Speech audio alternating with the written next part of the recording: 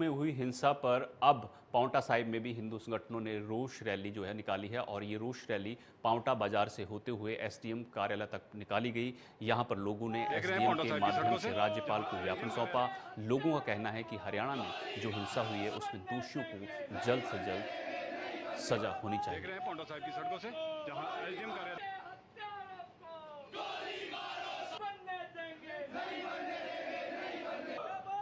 रहे साहब की सड़कों से।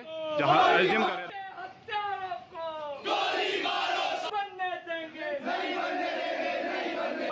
देख रहे हैं पौंडा साहब की सड़कों से जहाँ एसडीएम कार्यालय